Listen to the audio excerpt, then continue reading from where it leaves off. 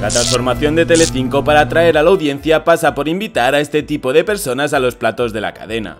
Este chico es el hermano de una concursante de la Casa de los Secretos y desde que salió por primera vez en el programa e hizo una especie de show dantesco no han parado de llamarle. Pero esta vez Emma García cuando ha visto que el chico hacía lo que quería a cada momento en el plato se ha enfrentado a él y le ha parado los pies.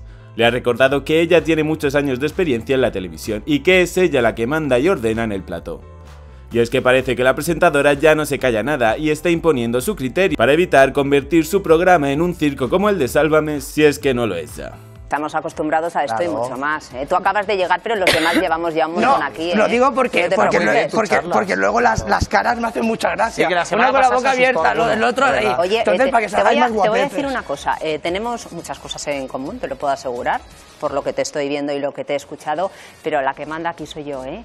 Sí. Digo por si se te ha olvidado y, y voy a poner un poquito de, de orden para que tú digas, oye, quiero hablar a cámara, yo te dejo tu cámara para que hables, oye, esto lo que no- quieras. Pero aquí la que controla y, y- y la que dice, eh, en fin, cómo van las cosas soy yo, que es mi trabajo, no por otra cosa. ¿eh? Emma, te lo digo No con todo respeto. cosa. No confundamos el toque de humor que he querido dar con un ataque personal No, a no, ninguno no, de no, vosotros. no, no, Simplemente no. he querido No, dar no. un toque de humor. Las caras son muy graciosas que, que- que se ven luego, pues eso, en los medios de comunicación y en los periódicos. Y es que es muy gracioso. Entonces, por eso.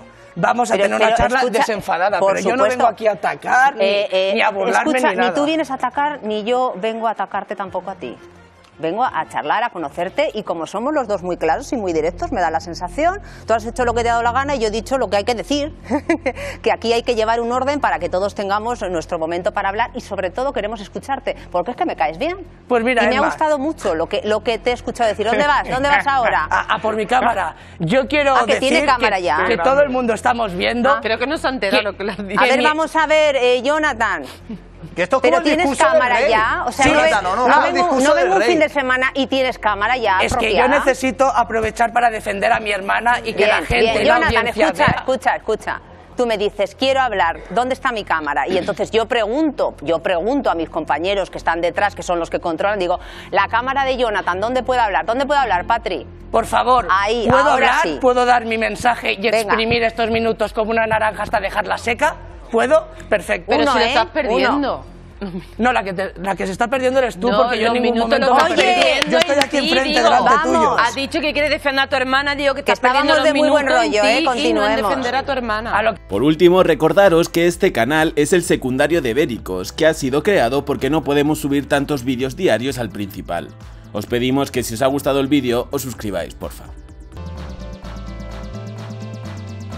No olvides darle like y suscríbete si aún no lo has hecho.